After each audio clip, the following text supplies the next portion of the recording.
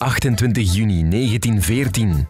De Oostenrijkse aartshertog Frans Ferdinand is op bezoek in Sarajevo. Svietko Popovic moet de aartshertog vermoorden, maar de aanslag mislukt. Hilde Einikel schreef een boeiende biografie van Popovic neer in De man die de wereld in brand moest steken. Dit boek is een uitgave van Davidsfonds Uitgeverij. Meer info vindt u op www.davidsfonds.be.